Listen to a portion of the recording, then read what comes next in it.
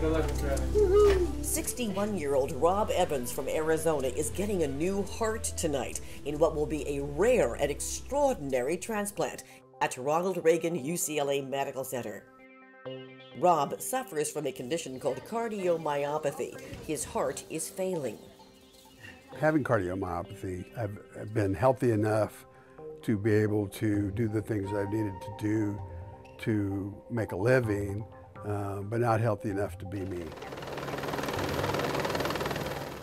Unlike traditional heart transplantation where the donor heart is stopped, put on ice, and transported in a cooler, Rob's new donor heart will be one of the first in the country to span the miles in almost science fiction like fashion, still warm, still beating, in a box. This technology takes the organ out of the donor, puts it on a uh, platform where it continues to pump the donor blood into the heart, maintain it in a near physiologic state, in a warm beating state during the transport. This is a clinical trial. Assuming that this technology proves to be um, as good as the uh, current preservation techniques or possibly superior, this technology opens the door for a new way of uh, preserving organs, improving patient outcomes, and transporting organs from one center to the other.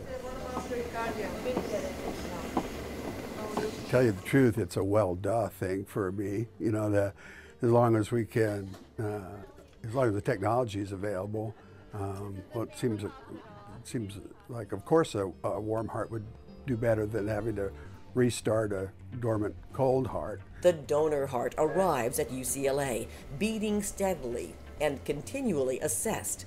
Rob's diseased heart is removed, his circulation and oxygen supply taken over by a heart lung machine.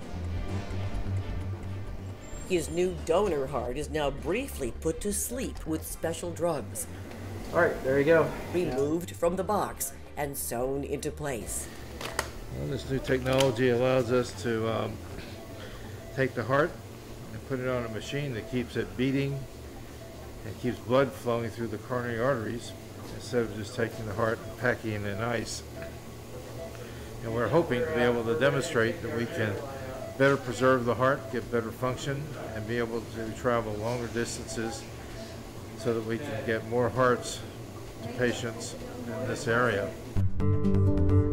Andrea Ybarra of Whittier, California became another one of the world's first beating heart in a box transplant recipients at UCLA after a virus attacked her heart, leaving it weak and unable to function.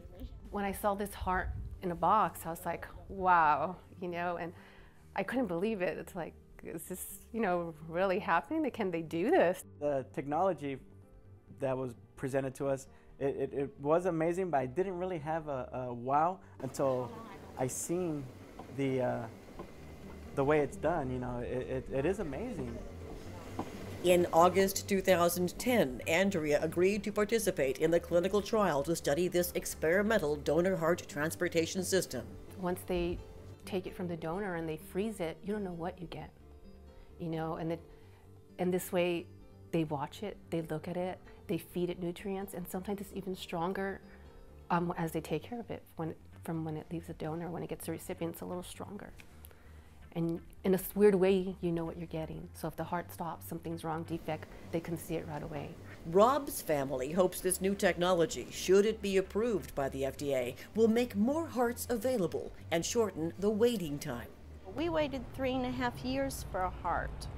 So, and in that three and a half years, we had another heart attack, we had pneumonia a couple times. You know, is he going to live to get the heart? Anything to shorten that time frame is just fabulous. The new heart is working perfectly and everything just turned out great. This beating heart in a box clinical trial is in its final phase. 128 patients are needed worldwide to complete the study.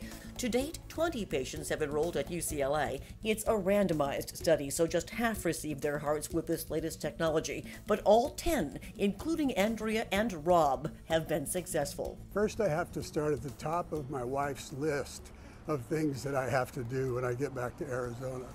And if I ever make it to the bottom, then, then I'll be back on my horse and I'll be um, back running my business. And, and, you know, the respect and frankly love we have for the donor's family um, will always be a part of our lives. It's a whole new life for me, I can say.